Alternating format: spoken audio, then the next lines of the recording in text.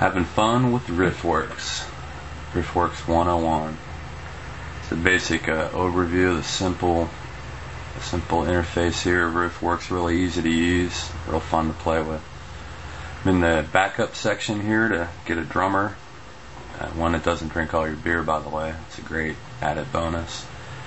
And uh, instant drummer here, vintage rock. Go for a verse part. Got uh, the metronome picked for the lead in. Got auto mute layers selected, and that way you're not recording over what you just did. That's kind of important. And we're going to do a little short 8 bar riff here. Um, go to the layer section, I've already recorded.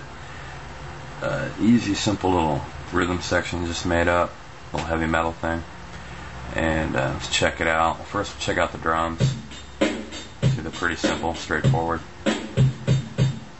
unmute this first layer here. You can you know rename the layer whatever you want.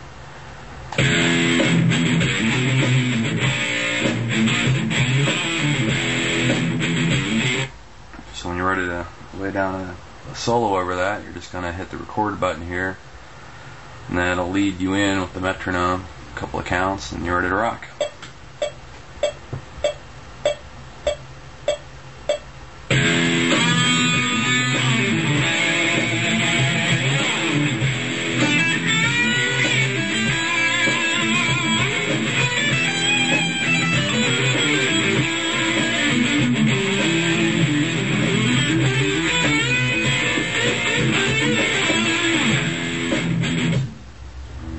That, you just unmute the layer you just made.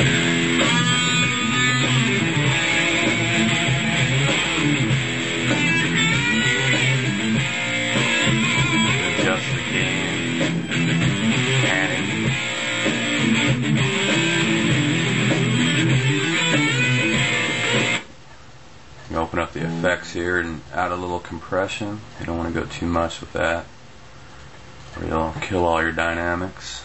And maybe we'll add some chorus to it.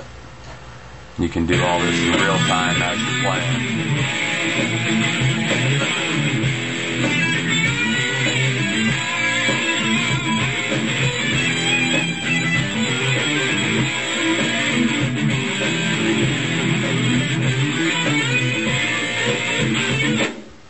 And that's it for the basics for uh, rhythm and lead.